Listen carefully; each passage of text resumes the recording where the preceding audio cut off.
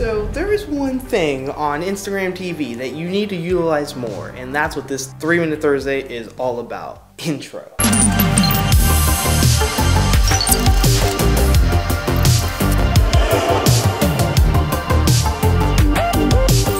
Salutations everybody, Benjamin Brandon here, back with another IGTV tutorial, and today we're talking about something that I didn't realize I needed to talk about, and that something is the IGTV desktop platform. I'm bringing this up because it's definitely come to my attention from Instagram DMs and from comments from my previous videos that not many of you actually knew about the desktop uploader, the fact that you can actually watch IGTV videos on your desktop in general, and a couple little hacks along the way. Let's get into it. Start the clock now.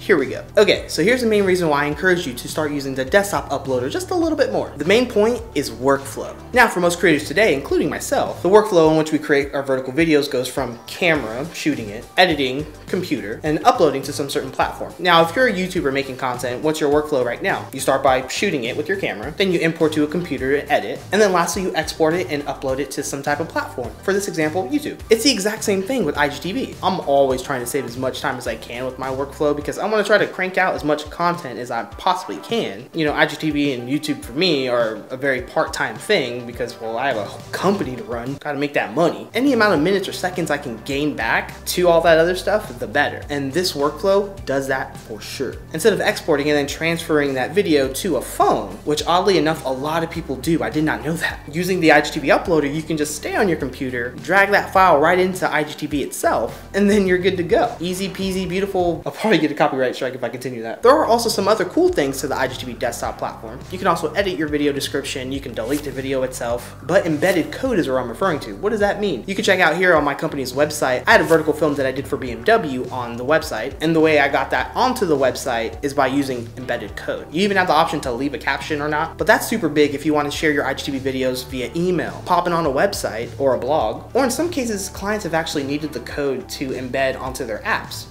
there you go. And in regards to sharing, you can share it to all the popular platforms, same as mobile, whether it's Facebook, sending it from Facebook Messenger is another option, sharing to Twitter. You can also email the video if you want. By the way, the difference between embedded code and hitting this email option is the email just gives you like a link. And then of course you can just copy the URL itself. Moving to the uploader in particular, this is identical to what's on IGTV right now. You have your upload option to the left. This is where you'll pop in your title and your description. The one bad thing about the IGTV uploader is the description box. It doesn't expand at all, so what that means is if you have a long description. You have to scroll, which is super annoying for me. And that's why I shared in the eight tips you need to learn about Instagram TV series that you should write your descriptions on some type of external Word app, such as Notes, Evernote, Microsoft Word, Pages, whatever you use. That way you can format it appropriately, pop in your hashtags, and then copy and paste right into the description box itself. And you don't have to worry about scrolling for years. That's just super annoying. And of course, on the bottom, you have the IGTV preview feature. And if you haven't seen my video on showing you how to do that, that preview feature allows the first 60 seconds of your video to be displayed on your Instagram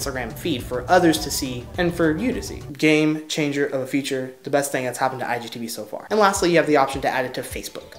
My workflow is seamless now because I don't have to really use my phone because I do everything on my computer. I import in Final Cut Pro, I edit in Final Cut Pro, I export out of Final Cut Pro. Sometimes I'll go into Apple Motion, make some effects, render them out, drag my video into the IGTV uploader, and then that's it. I had two goals in this video. One was to show you that you can save some time using the IGTV desktop uploader, and the other was for those who didn't know about it, now you know everything it does. That's the three minutes right there. Did pretty good, huh? All right, let's go and read some top comments from my last video. Sorry I didn't upload last week, by the way. Client work got the best of me. And well, when I make these videos, I'm essentially not working on stuff that gives me money. But I love YouTube and I love helping you, so it's really all worth it. And ironically, this video was showing you the new IGTV update that happened two weeks ago and how to upload in it now, because it's not that intuitive. So if you do everything on mobile, you're gonna wanna watch that video. IG has officially announced that their focus and money is on IGTV this year. It's the moment to start owning the platform. Yes, I agree. I've been saying that for a year now. Maybe I said it too early. I don't know. Thanks for the update. You're welcome. I'm preparing to start my own IGTV channel and I'm finding great value in your tips and guidance. Looking forward to jumping into the scene really soon, and this update really helped. Awesome, man. Happy to help. That's exactly why I do what I do. There never was a need for IGTV. Time to roll the unique features of IGTV into IG, and I'll bet that happens this year. What John's referring to is a question I asked in this video, asking you guys if the IGTV app was gonna go away, because it's missed like four updates already, and Instagram is getting all the IGTV updates. So yeah, I think uh, I think I'm agreeing with you. I found it hard to work out how to upload a new video. Thanks for the info. You are totally welcome. Yeah, you're not the only one. Do you think adding caption bars on the top and bottom of your video is a good way to increase engagement? Notice you're using it on some of your vids. What's the main goal? That's a great question. On IGTV, I do not recommend it. I know Gary Vee does it, but that's because he repurposes his widescreen video. That's cool if you're gonna do that. I actually use this strategy on my Instagram feed where I repurpose my YouTube videos to let you guys know or give you some tips on Instagram from videos like this. But no, I don't recommend it for IGTV because the purpose of IGTV is to create native vertical content, which does way better than repurposed widescreen videos, just FYI. Well, this video provides you some value, just smash the like button, just get after it. Subscribe, notify yourselves of when I, you know, make videos and you do what you feel necessary. I'm just here to support you. Also, if you stay to the very end of this video, there is a giveaway coming that is huge with a certain, that's not the company. I partnered with one of the juggernauts of the video industry. I would go to my Instagram right now, watch my latest IGTV video, and you will see who it's with and what we're giving away. More details to come soon. Keep creating some vert. I'll see y'all later. I'm out.